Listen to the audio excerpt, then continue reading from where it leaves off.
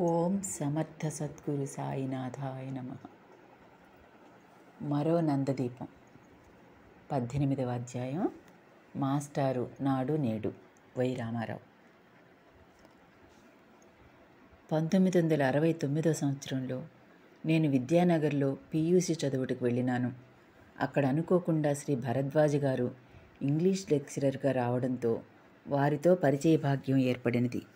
Master గారిని చూడగానే ఆయన కండ్లలోని తేజస్సు ముఖ కవళికలు ఇట్టే చూపరులను ఆకట్టుకునేవి. ఆయన ఐఏఎస్ ఆఫీసరా అనేట్లు ఉండేవారని కాలేజీ మొత్తం అనుకునేవారు. చాలామంది ఆయన వచ్చి తమ సందేశ సందేహాలకు సమాధానాలు తెలుసుకొనివారు కానీ ఆనాడు కాలేజీ విద్యార్థులకు ఆయన గురించి అంతటి గొప్పవారని తెలియదు. బహుకొద్ది మందికి కాలేజీలో లెక్చరర్ కనుక హలో అంటే హలో అనుకునేవారు. కానీ ఆనాడు నలుగురము మాస్టర్ గారిని కలిసి మాట్లాడాం. అప్పటి నుండి ప్రతిరోజు కలుసుకొని విద్యానగర్ కాలేజీ హాస్టల్ ప్రక్కనే కూర్చునేవాళ్ళం. మేము ప్రశ్నలు అడుగుతుంటే మాస్టర్ గారు సమాధానాలు చెప్పి మా సందేహ నివృత్తి చేస్తుండేవారు. అలా నలుగురితో మొదలైన ఆ సత్సంగం తర్వాత సుమారు వంద మందికి పైగా వచ్చి పాల్గొనేవారు.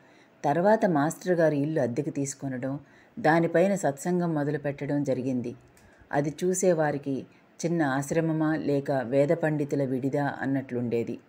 మాస్టర్ గారికి విరామము విశ్రాంతి లేకుండా ఆయన ఎప్పుడూ విద్యార్థులు పరిసర ప్రాంతాలలోని వాళ్ళు దేవాలయంలో లాగా సుమారు యాభై అరవై మంది దాకా ఉంటుండేవారు. ఆయన ఓర్పుతో అందరి సందేహాలకు సమాధానాలు చెబుతుండేవారు. ప్రతిరోజు మాస్టర్ గారు మేము విద్యానగర్ కాలేజీ హాస్టల్ కట్టుబడి కోసం తోలిన ఇసుకలో కూర్చునేవాళ్ళం మాస్టర్ గారు తమ చేతిని ఇసుకలో ఉంచి అటు ఇటు వేళ్ళతో ఇసుకను కదిలిస్తూ మాట్లాడుతుండేవారు. ఒకరోజు ఒక మిత్రుడు మాస్టర్ గారిని మాస్టర్ గారు మీరు బాబాను పూజిస్తారా? అని అడిగాడు. ఆయన అవును అంటూ తమ చేతి వేలుకున్న బాబా ఉంగరాన్ని చూసుకున్నారు. ఉంగరమే ఉన్నది కానీ దానిలో బాబా వెళ్ళలేదు. అది ఎప్పుడు ఎక్కడ ఊడిపడిపోయిందో మరి. ఆశ్చర్యం. రెండు మూడు నెలల తర్వాత రోజులాగానే మేమంతా అక్కడే కూర్చుని ఉన్నాం. మాస్టర్ గారు మామూలుగానే ఇసుకలో వేళ్ళతో గీతలు గీస్తూ మాట్లాడుతున్నారు. ఇంతలో ఆనాడు కనిపించకుండా పోయిన బాబాగారి ఉంగరంలోని బాబా బిళ్ళ ఆయన చేతిలోకి వచ్చింది. మేమెంతో ఆశ్చర్యపోయాం. నాటి నుండి ఎన్నో బాబా లీలలు అచ్చటి వారికి మాస్టర్ గారి ద్వారా వెల్లడి కాజొచ్చాయి. నిజంగా చెప్పాలంటే ఆనాడు మాస్టర్ గారిని చూసిన వారికి ఎవరి ఈయన? ఈయన దైవాంశ సంభూతుడై ఉండాలి. ఈయన లెక్చరర్గా రావడం ఏమిటి? ఈయన ఎక్కువ రోజులు ఉద్యోగం చెయ్యరు. ఏ అడవులకో తపస్సుకో వెళ్ళిపోతారు అనిపించేది. ఆయన ప్రవర్తన కూడా అలానే ఉండేది.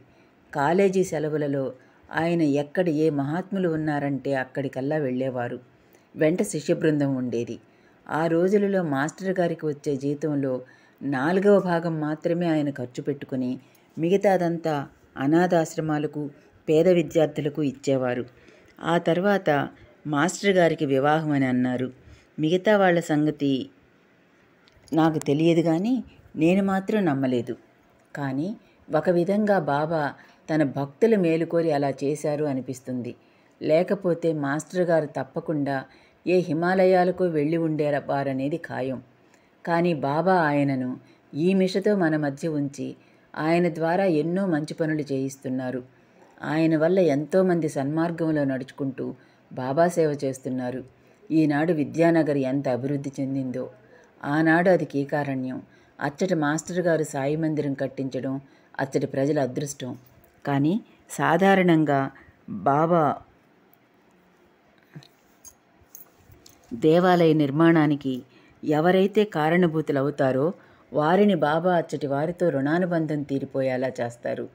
మాస్టర్ గారి విషయంలో అదే జరిగింది. కానీ మాస్టర్ గారు ఒంగోలు రావడం బాబా గురించిన పుస్తకాలు వ్రాయడం దీని వలన దేశం నలుమూలలా బాబా గురించి తెలియడం అందువలన చాలామందికి బాబాపై భక్తి పెంపొందడం జరుగుతున్నది. ఈ మధ్య కొంతమంది మాస్టర్ గారిని గురించి విమర్శలు చేస్తున్నారు. అది వారి అవివేకం అని నా అభిప్రాయం. ఎందుకంటే నాకు మాస్టర్ గారితో పంతొమ్మిది వందల అరవై తొమ్మిది నుండి పరిచయం. ఆనాడు మాస్టర్ గారు ఎలా ఉన్నారో ఇప్పుడు అలానే ఉన్నారు. ఈనాడు చాలా చోట్ల ఉన్న బాబా దేవాలయాలు మాస్టర్ గారి ద్వారా ప్రేరేపించబడి నిర్మించబడినవి. ఆయన బాబా సేవకు జీవితాన్ని అంకితం చేసి ఇతరులకు బాబా గురించి చెబుతూ దైవాంశ సంభూతులుగా గోచరిస్తున్నారు. ఈనాడు చాలామంది శ్రీ మాస్టర్ గారి రూపంలో బాబా ఉన్నారు అని తలుస్తున్నారు. పద్దెనిమిదవ అధ్యాయం సమాప్తం.